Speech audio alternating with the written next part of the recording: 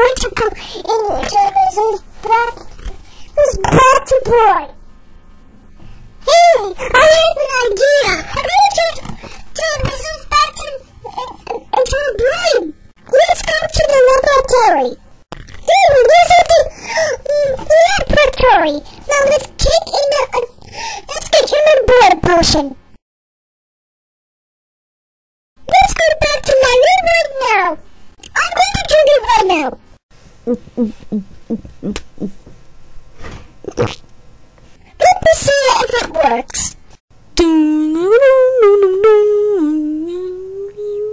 Yay, it worked! Four. What happened?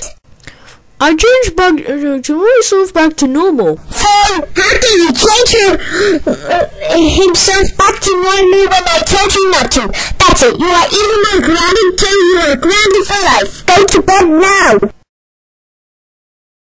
Ouch. Rough, rough man. Why did you put at man like that? Because we're going to go for a year for failing a test.